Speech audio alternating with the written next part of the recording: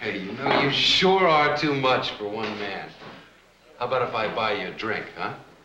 Hey, uh, uh, what's his name? Scotty. Scotty, can I have two beers, please? Listen, why don't I buy... That's very nice, kid. But why don't you take a walk home? I'm buying her a drink. Hey, look, I just ordered the lady a drink. Do you mind?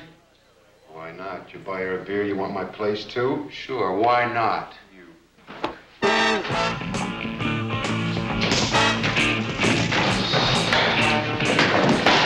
Oh, come on. What do you want to fight to that road tramp for? Fuck off, cow.